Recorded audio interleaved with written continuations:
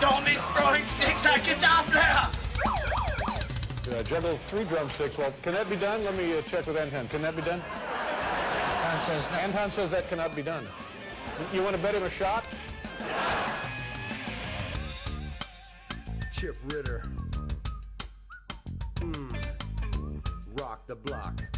So you saw a sneak preview copy of a DVD. What was it called? Got my true Uh, line Chip Ritter finish Sticks Tricks, And what was your favorite trick in the stick tricks? Garden Weasel.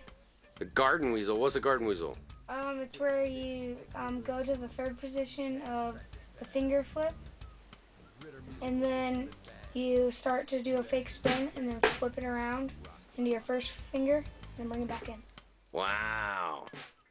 So, any last words for our visitors of the website? Yeah, they should go get the DVD because it's awesome. You really think that, or are you being paid to say that? I really think that.